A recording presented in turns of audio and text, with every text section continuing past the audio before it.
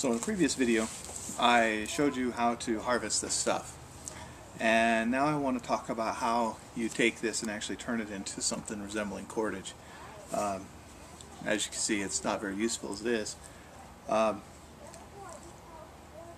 there's a lot of methods. Mine is probably the easiest and the fastest. I wouldn't call it the simplest or, or the best.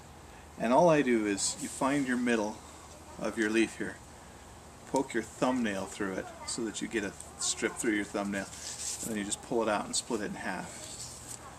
Now some people I've read then say you keep splitting it in half. I've found that to be of less use or slower when all you do is you just use your thumbnail here and you pull a piece off just about you know yay big and you take a piece off. Now if this is too big for you or you think it is too big you can split this in half too. I mean it's decent enough. Um, the smaller your pieces, the smaller your cordage can be. If you're big pieces, then it's really tough to make small cordage. Uh, this is for a bow drill, so it doesn't have to be terribly small. So, and you just wash and repeat.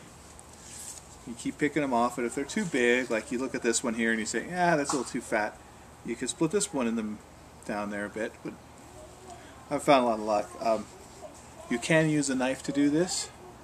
But if you do, when you're pushing up through here, you want to make sure you use the back end of your knife down there so that you don't cut it, as these fibers are really easily cut by your knife. So just keep peeling them out. Like this one's a good example. It's a little too big. I don't really like it. So I can take it in here and try to peel that one down the middle and make it a little smaller. You know, my average mentality is you you never have too much rope, and so if you're just sitting down here splitting this stuff out, split it all out. Um, due to the fact that YouTube would probably be pretty upset with me at trying to post up an hour and a half video of splitting this all out, turning it all into cordage, and you'd probably be very bored doing this. You know, this is this part here is pretty easy. Um, you'll notice very quickly it'll start to turn your hand green. Um, some people believe in drying and and using water to get all the fibers out, all of the, the pulp out. Uh, for most domestic yucca, you don't have to do that, or yucca, or whatever you call it. Um, there's no point in in making in, in splitting out. But when you get into the wild, you'll find that you see how these are really thin leaves. That is not what you find in the wild. The wild, you find really fat ones, and those ones there you probably need to pound and wash off and get to the fibers. Also, if you're trying to make really pretty rope, you'll want to get to the fibers and not have all this green stuff on it. So when you've got a lot, this is some, this won't make a lot, um, just take three or four of these like this. Uh, the fewer you use and the thinner they're peeled, the smaller you can make your rope. These are pretty fat, so they're not going to make very thin rope at all. But you can go through here either with a knife or the credit card and you can start to, to just peel it down. So, and then when you get it like this, you just get it between your fingers and you just take one hand. I use my right hand, I think it's because I'm right-handed. And some people say make them even on one side. I say it doesn't matter. Just somewhere lopsided. And you just start to roll it away from you. Just take your right hand and twist it and if it's, you're going to do it several times, so then you take your other hand and you pinch it off. And then you twist it some more and you pinch it off. Some, some more. I used to do this all the time with my shoelaces. I was probably a freaky kid. And eventually you'll get this thing to the point where it makes a loop. That is one end of your cordage. Then you take this end, so once you get a loop, you put your hand in here to hold that loop, and then this becomes your bottom and this becomes your top. It's important because what you do is you roll away from you and then you reach underneath right here and grab the bottom, bring it to the top.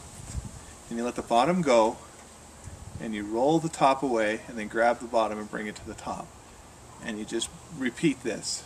And it's kind of a feel thing. I can't, you know, you just have to keep doing this. Make tons and tons of crappy rope until you finally get the feel of rolling it away and then pulling it back. You roll it away, you pull it up so that it's twisting, your individual strands are twisting away from you, but yet when you look at this, it's twisting towards you. and this is iconic, ironically named re, uh, reverse wrap cordage because you're you're wrapping it in reverse order of its original twist and you just keep rolling right along and you just keep this fingers just keeps creeping along with it as you move on to keep your cordage straight. And you just keep going and you'll start to build cordage. It's about that thick. Uh, this is my finger for reference. It's probably an eighth of an inch maybe a quarter of an inch thick. It's not terribly really thick. Well eventually you're going to find that you know these things don't make very long cordage. This is for a bow drill so I need you know about this much cordage and there's just not enough strands here so when you get start seeing one of them get a little sparse a lot of people will say cut it off and put a whole new batch of strands in there.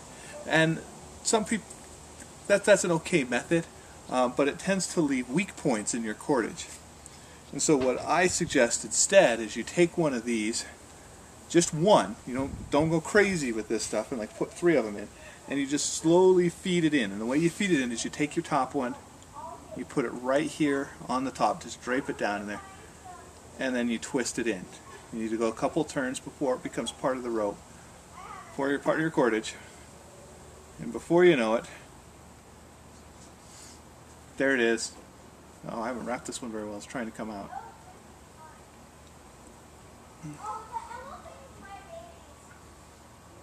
So you wrap it a few times before you know it, this is part of the rope. It won't come out.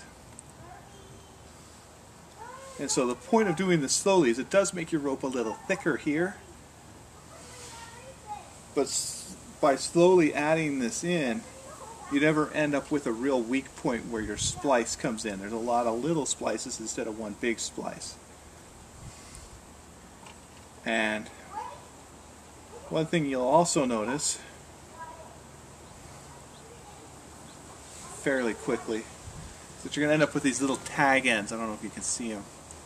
Um, you could just trim those out, or there's actually a way to prevent them from coming in. So I'm still trying to splice on the separate one. So what you do is you take one of these ends, and instead of draping it over top, you kind of fold it and jam it in the middle. So the long part is part of the top one, and the small one's part of the bottom one. And then you twist them together as you're going. And you'll see that doesn't leave any any little tag ends to trim to make your, your rope look good and that's that's what you do. You just keep going, and uh, I actually have a piece already done for my for my uh, bow drill, so I won't need this. So I'm going to show you how to do it, how to end it. It's really easy. Uh, so you're sitting there rolling along, and you get down, and you're like, okay, this is all I need, and that's ridiculous. It's like four inches here. Um, all you do is you just take it, do a simple overhand knot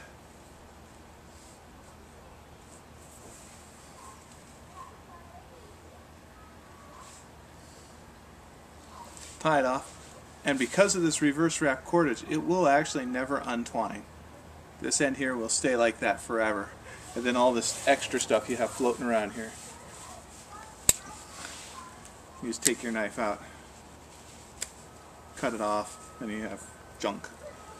And that's, that's the basics of reverse wrap cordage. Um, the secret to making this work look as nice as this, and this isn't even the best you're going to find out there, there's some people that are really good at this, is to make a whole lot of crappy cordage.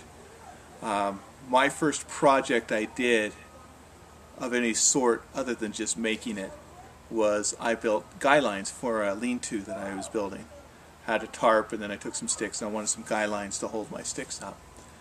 And I would sit there and just wrap this in front of the TV and that's that's a good good way to get a lot of practice. Because you need you know six nine feet of it and it'll take you an hour or more to wrap that mount. At least it took me that. I would sit there and watch TV and, and wrap cordage for hours and hours and hours. And and it was kind of cool though to be able to sit down and sit under my my little lean-to that I built and know that all everything except for the the uh, tarp that I used for the lean-to I built. It was mine so this is how you make reverse wrap cordage. Um, you don't have to just use yucca. I like it because it's really good and it's one of the best. But you can use willow bark, but that's kind of a struggle. You can use um, um, nettles, uh, anything that's, that's got some string to it and some tensile strength that you can wrap like that. Um, coconut husk is another good one. So go ahead and give it a shot. Uh, it's kind of fun. It's not one of the harder things to do, and it's something you could do in your backyard. As you can see, I'm not out in the woods doing this. This is just my backyard.